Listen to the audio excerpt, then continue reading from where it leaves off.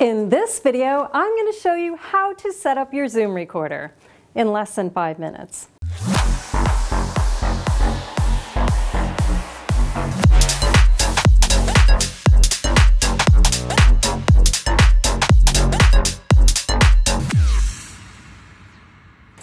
Hi and welcome or welcome back to DIY Film with Merle Becker, the channel where I help you make better videos. As always, stick around to the end of the video for a bonus tip. All right, so my last two videos were about the Zoom recorder. So I thought I'd finish out the series with a quick Zoom H4n setup tutorial. So let's do it. As mentioned, you can use the Zoom to record audio on set, including Foley, voiceover, and so much more. And I should mention that the Zoom H4n that I'm demonstrating on for this video has software version 1.7 boot 1.01. So if you're running older or newer software, the menus may look slightly different. Okay, so first turn on the Zoom. Do this by pushing the switch on the left side downwards and hold it in the down position for three seconds. Once you see it powering up on the screen, you can let go. I'll be honest, it takes forever. Also, if it doesn't power up, make sure you have fresh batteries in there. The H4n takes two AA's. Once it's powered up, the first thing I'd like you to do is to select your mic inputs. You can either use the built-in mics on the top of the Zoom to record, which is the mic button here, or you can also plug in an external mic to one of the XLR inputs here, which would be the 1 and 2 button here. Or there's even an 8th inch jack up here, in which case you would choose mic and turn on the plug-in power if necessary in the input menu. I'm using the built-in mics on the top here, so I'll press mic. Next, let's set your pickup pattern. On each mic there are two numbers, 120 and 90. 90 degrees is a more directional pickup pattern, picking up audio that's directly in front of you. And 120 degrees will pick up audio that's both in front of you and on your sides, and maybe a little behind. If you only have one subject right in front of you, 90 is a good choice. That being said, I usually leave it on 120 to get some of my interviewers' questions.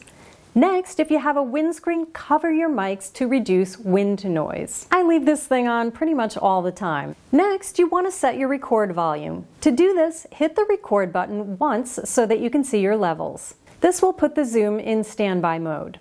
Then adjust the record volume by hitting the plus or minus on the right side by record level.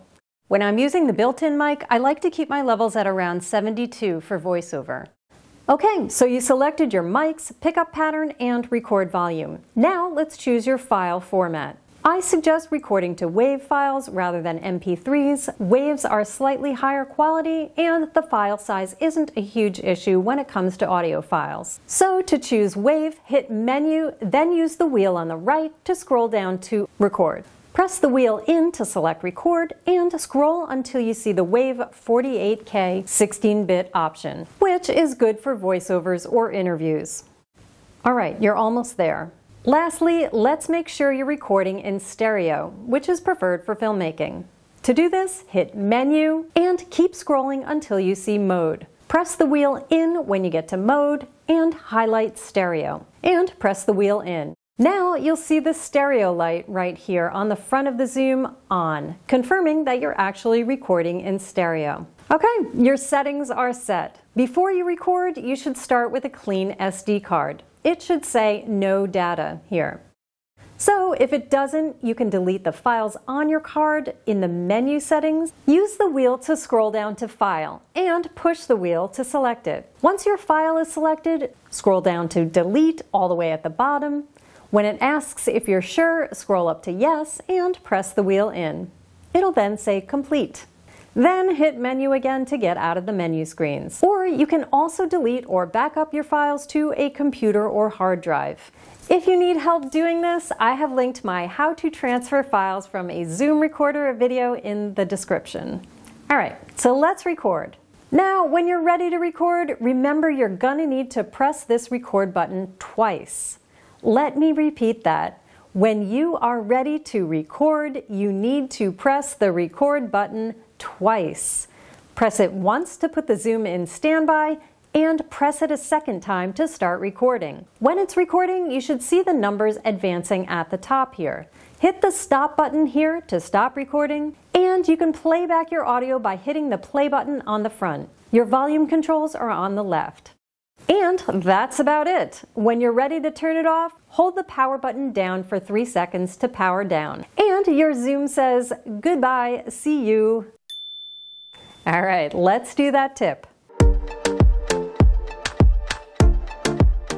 When you're recording audio, with few exceptions, you should be aiming to record clean audio. And for that reason, you should always use a windscreen. A windscreen will cut down on the amount of extra noise you're picking up while recording, like wind or popping sounds from someone saying peas too close to the mic. Just use one. They're cheap and they work great. Auray makes a foam windscreen designed specifically for the Zoom H4n. It's only 10 bucks and it'll improve your voiceovers, outdoor recordings, and popping peas.